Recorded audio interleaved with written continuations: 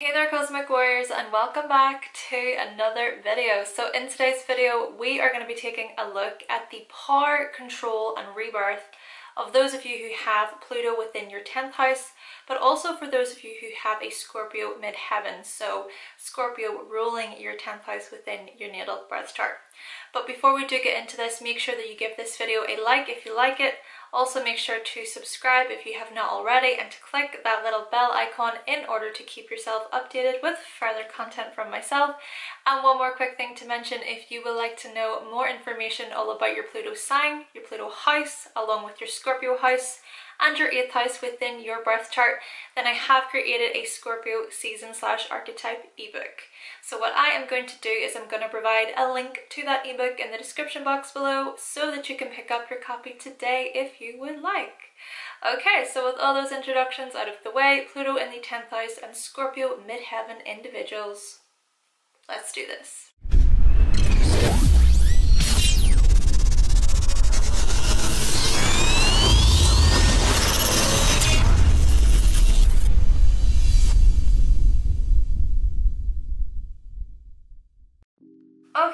You have Pluto in your 10th house or a Scorpio midheaven, so Scorpio ruling your 10th house, then what this suggests is that you're someone who refuses to back down from achieving your purpose or your long-term goals that you are desperately inwardly striving for. And no matter what career or vocation you enter into, you will most likely seek to rise up and dominate within whatever position that is.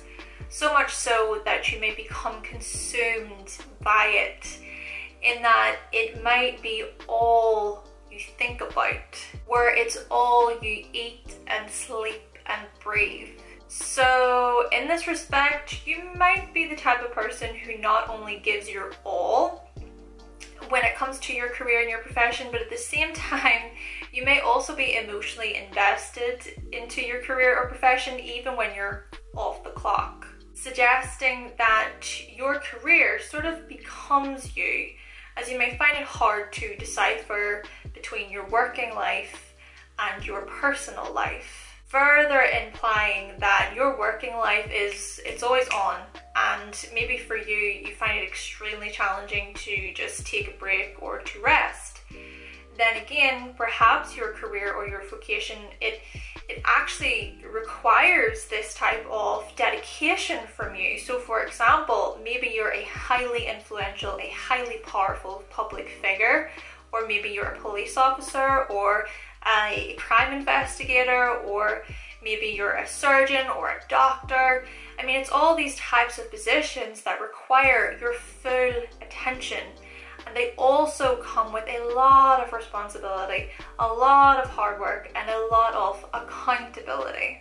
On the other hand though, maybe you prefer the type of profession that involves you being a manager or some sort of authoritative figure or a leader where you're able to give direction and command. But even when you return home, maybe the events that you experience within that profession can really get the better of you.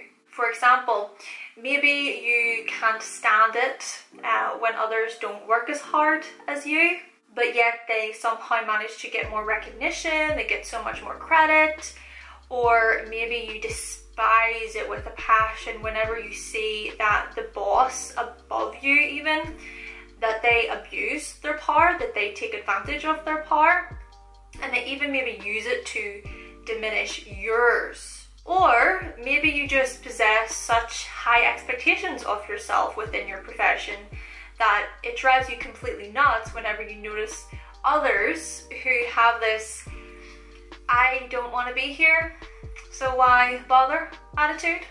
Maybe as you observe this type of behavior, you feel like turning around to these people and saying, then leave. Go, you know, go work somewhere else, leave, because that way we can actually get somebody else in to actually do this job, fill this role, who can take your place. Whichever way though this plays out, Pluto in the 10th house and Scorpio midheaven individuals, perhaps you're someone who feels as if you're destined for much more purposeful and meaningful things in life. You really look for a very strong and purposeful life path. I mean, you're probably willing to take on positions that not many people could handle. Perhaps you're also drawn to positions or organizations where you're actually self reliant or where you're trusted to do your work on your own terms without being monitored every single second. So, this could be you becoming your own boss, for example. Then again, perhaps you yourself, you struggle with members of authority. Maybe you distrust those in authority, or you're very cautious towards those in authority, or you have little to no respect for those in power, especially towards those who you see right through. Further implying that maybe you've butted heads with powerful figures, such as you exposing these individuals' actions or calling them out for them breaking rules and regulations or for them abusing their power. So following on from this point, um, maybe growing up you actually experienced similar situations with your parental figures. After all, these individuals are members of authority whenever we are very, very young.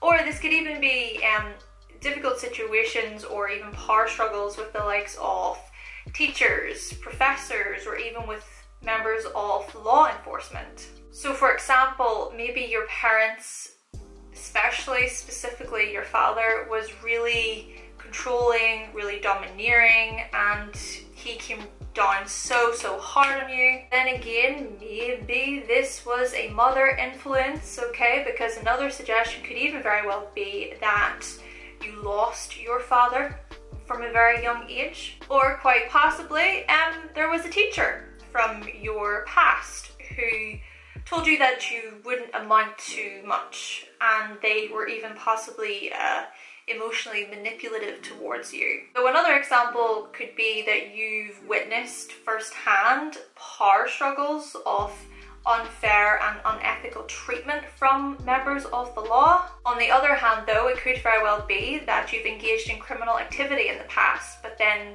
after being punished, you gained many profound and transforming lessons and insights. The types of lessons that stay with you for life.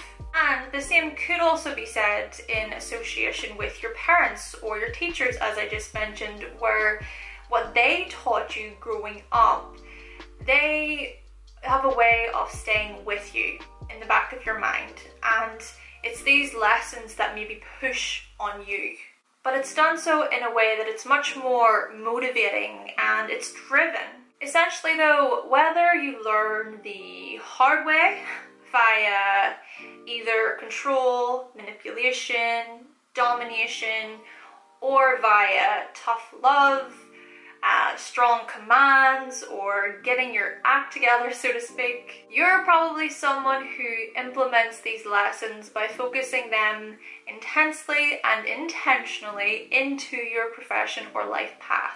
And therefore, if anybody comes along and you think that they don't deserve your respect, you may be quite quick to cut them off. So, cutting off a particular individual or if you're working with a certain or within a certain organization and you do notice really shady behavior, you might again be very quick to cut your losses and um, head elsewhere.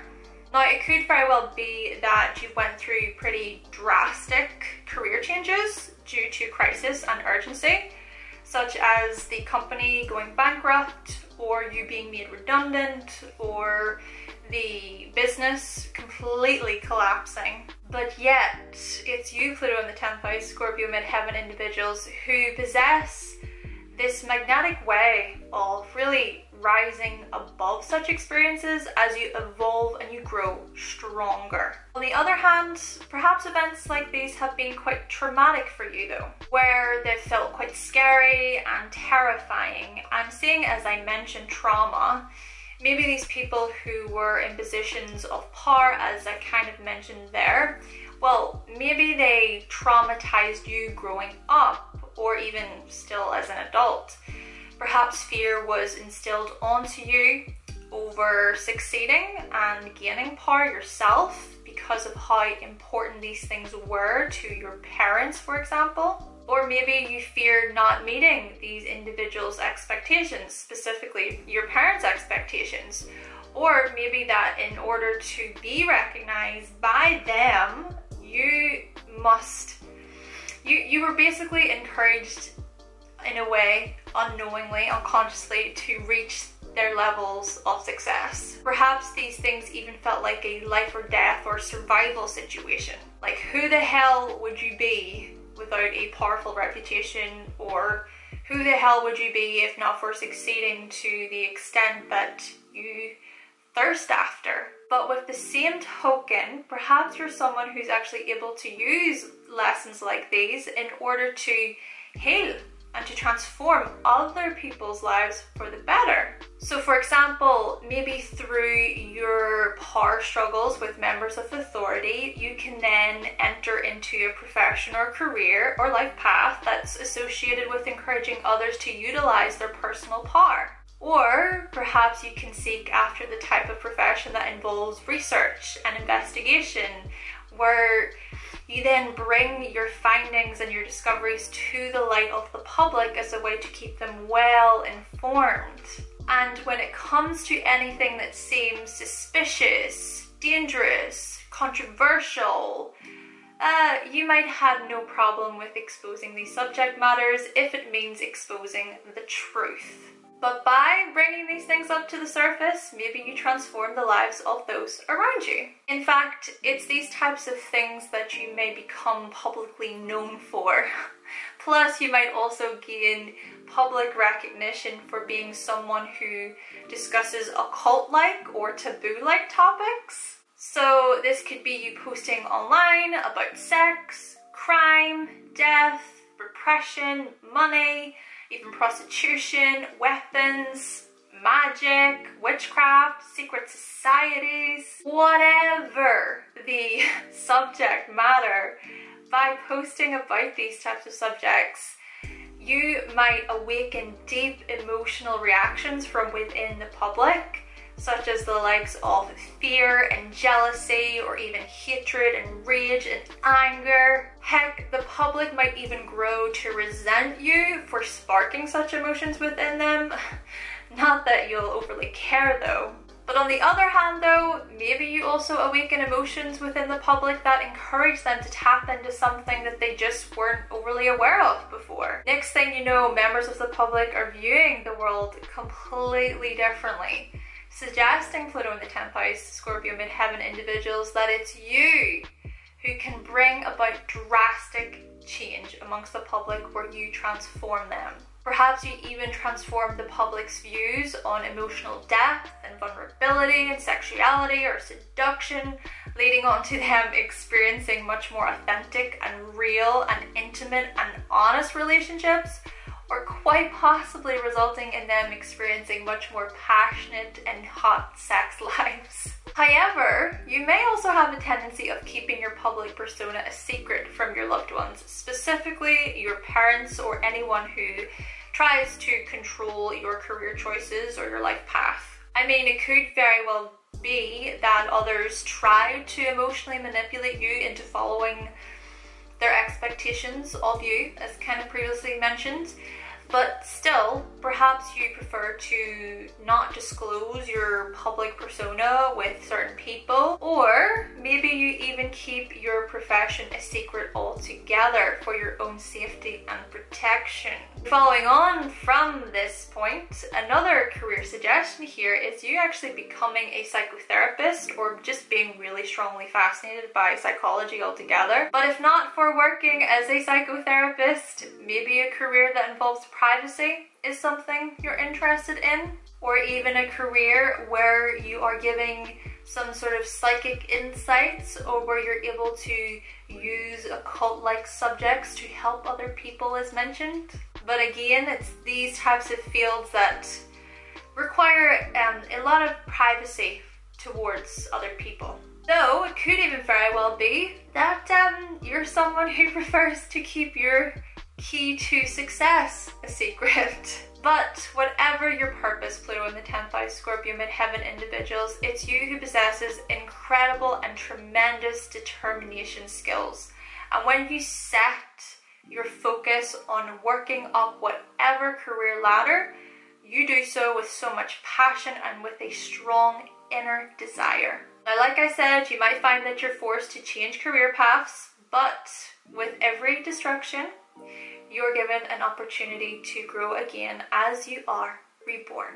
Maybe you're even used to this process of tearing down existing structures as you make way to rebuild once again. Or maybe for some of you, you become bitter, resentful, jealous even of others who don't go through the same catastrophic hardships as you do. But essentially, I think that you're someone who really you really learn how to develop a tough and thick skin where you seek to refuse to let the struggles and difficulties that you face get the better of you for too long. Though one more quick thing that I would like to mention here is that it could very well be suggested that you have an insatiable thirst for power and money and materialism and quite possibly even fame and social status. And that the more taste of power you get, the more you crave. Then again, maybe as I was saying earlier, you actually seek to tear down systems associated with such obsessive issues, with such controlling issues, especially those in positions of power, as I was also saying, because you see right through the false facades that such outlooks can bring.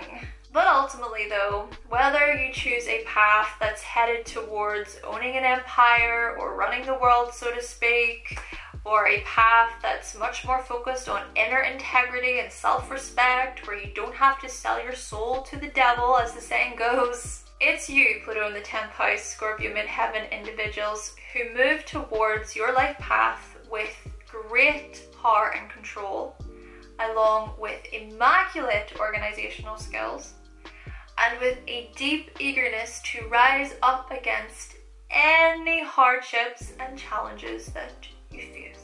Okay then Cosmic Warriors, so that concludes my video on the power, control and rebirth of those of you who have Pluto within your 10th house, but also for those of you who have a Scorpio midheaven, so Scorpio ruling that 10th house within your chart. Now if you happen to have any of these placements, please let us know what you thought of the video in the comment section down below. But with all that being said, thank you so much for watching. Thank you for subscribing. And if you would like to see more videos from myself, then make sure that you click that subscribe button and also like this video, remember. And I will be back with another video very, very soon. Bye!